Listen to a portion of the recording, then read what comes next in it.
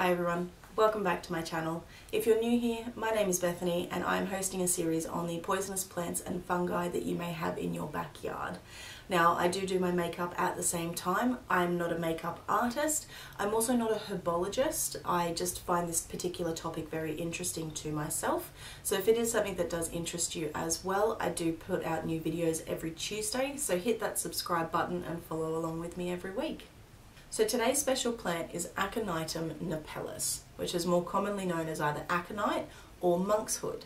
Now there are several other names that it does go by. These can include uh, wolfsbane, queen of poisons, or devil's helmet. So what does Aconitum napellus look like? Now it is a plant that actually has over 100 uh, species within its genus. So there's quite a, a, broad range, but for today's video, we're actually focusing on um, monkshood itself. So it is a perennial plant, which as we know means that it lives for more than two years. And it actually consists of one main stem, basically that all the, the leaves and the flowers actually grow from. Now the leaves are dark green and they're called palmate, um, which means palm shaped. So they're, they're, they're, a palm shaped leaf and they have between five to seven segments on each particular leaf.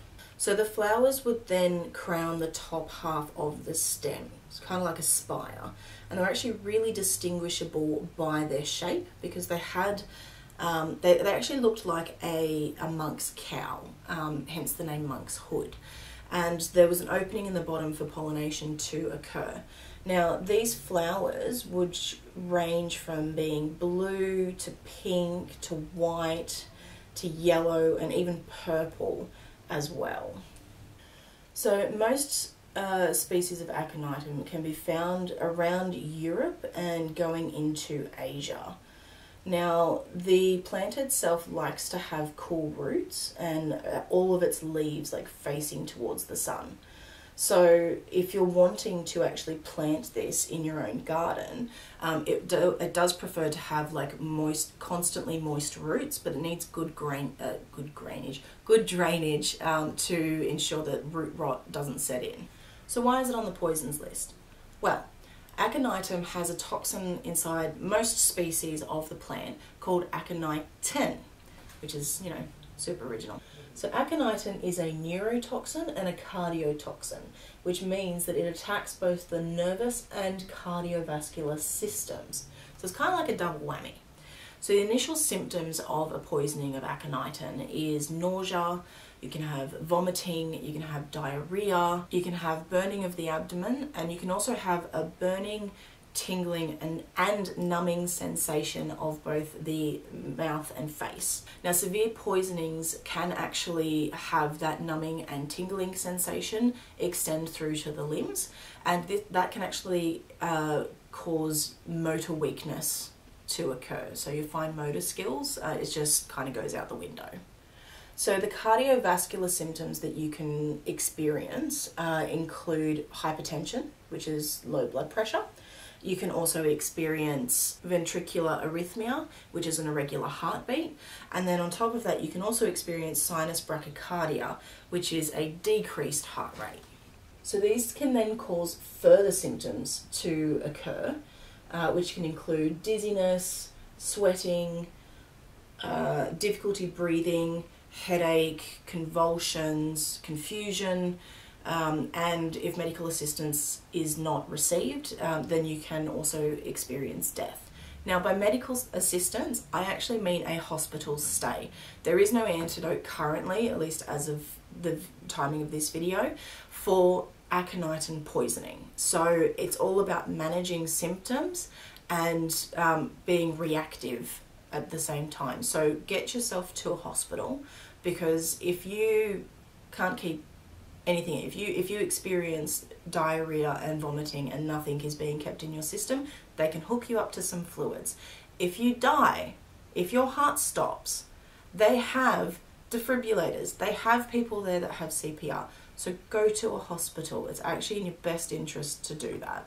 Now, all the life-threatening effects of aconitum aside, uh, it has actually been used within traditional medicine uh, for quite some time as well. So aconitum has actually been used for a long time in traditional Chinese medicine and it was believed to save a person's yang, so like their yin and their yang, um, because obviously everything lives in harmony. Now it would be uh, toasted, fried, boiled, um, steamed.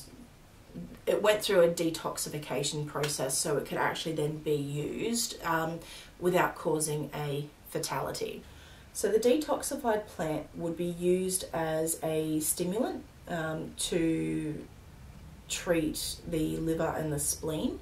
Um, it would also be used uh, for treatment of malaise, which is kind of like general discomfort. Uh, it was also used for the treatment within uh, patients for cancer, for heart disease, as well as poor circulation, vomiting, diarrhea, cold uterus was another one um, because all of these symptoms were believed to have been caused by a person's yang dying. So, by saving a person's yang, they would be saving their um, like the, their harmony. They'd be cured of all of these particular illnesses. Now, the Chinese weren't the only ones that actually had like a um, mythic components to aconitum.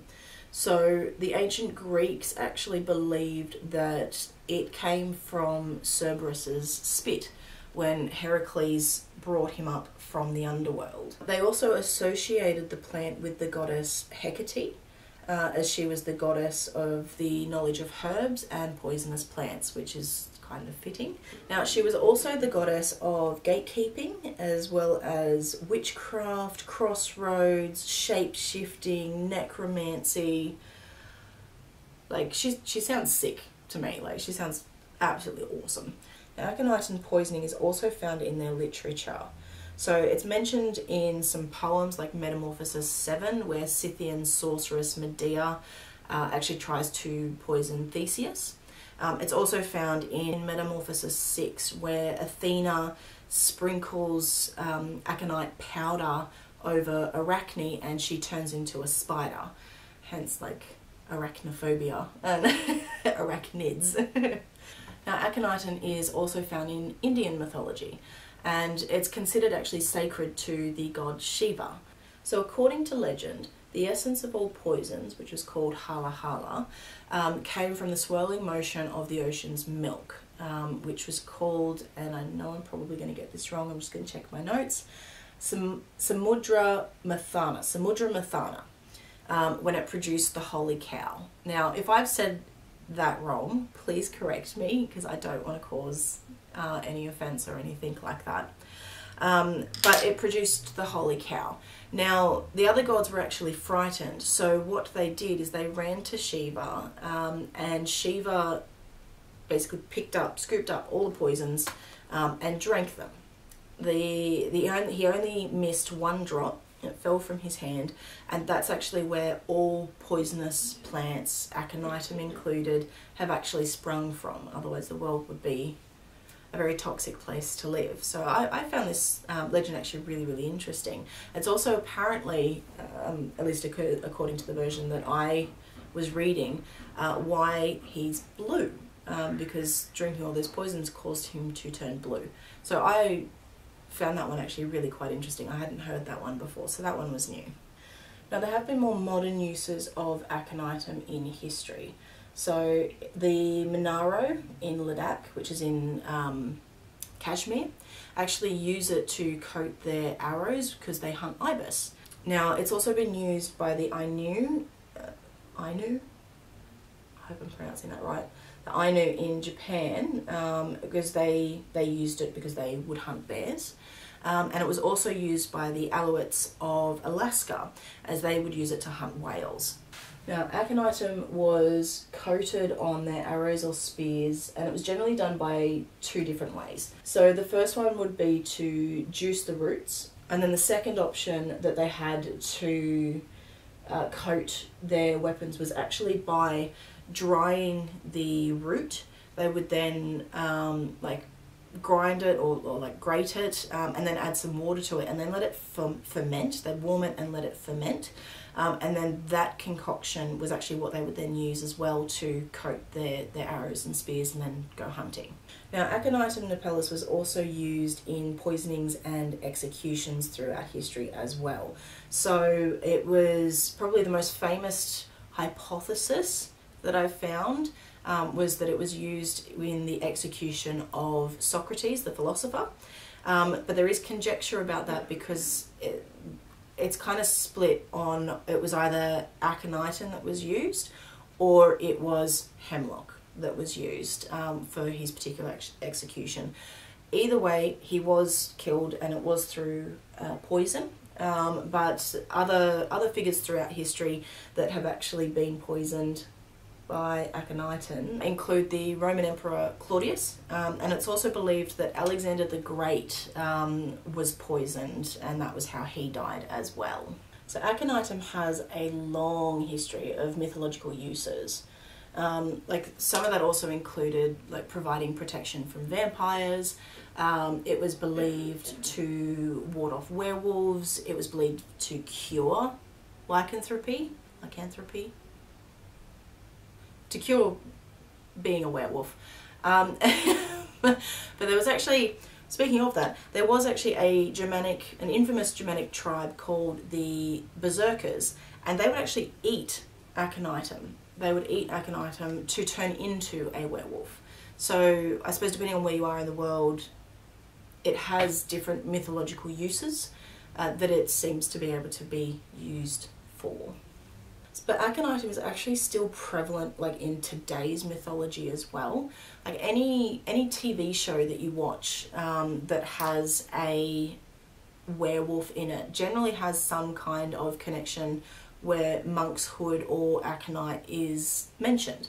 Same goes with like popular pop culture. Um, so like take Harry Potter as an example. In Snape's very first potions lesson, one of the questions that is asked is what's the difference between monkshood and wolfsbane it's also found in like books and, and comic books as well in x-men there's a character called Rahne Sinclair whose x-men name is wolfsbane because she has the ability to transform into a wolf um, or a transitional stage between the two. So it is very prevalent still in today's society. Unfortunately, aconite also has had some additional myths thrust onto it as well in more recent times.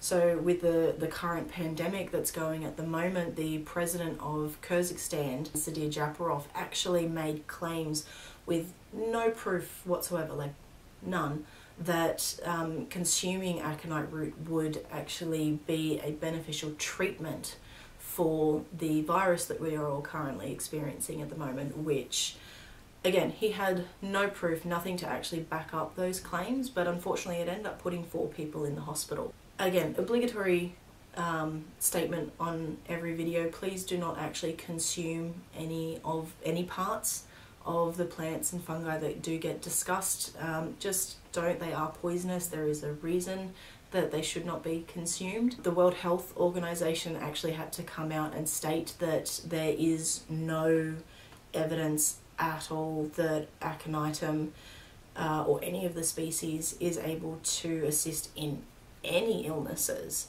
let alone the ones that we're currently facing at the moment, the different strains that we're currently facing at the moment. So please do not actually consume any parts of this plant. Um, it's not, not actually good for your health.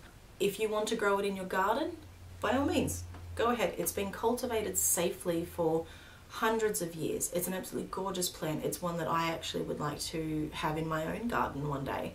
Um, just, you know, keep it away from children and curious pets. Thank you so much for spending time with me today guys and I hope you liked the video. I really enjoyed creating this one. The history and the research that I found about how vast this plant is and the different types of uses as well as like how far it has actually reached has been really really interesting to, to read and and to research on. So if you have any questions please leave a comment below. If you have a particular plant in mind that you'd like for me to do some research and do a video on I'd be more than happy to, to get some suggestions. Otherwise stay safe guys and I will see you on the next one. Bye.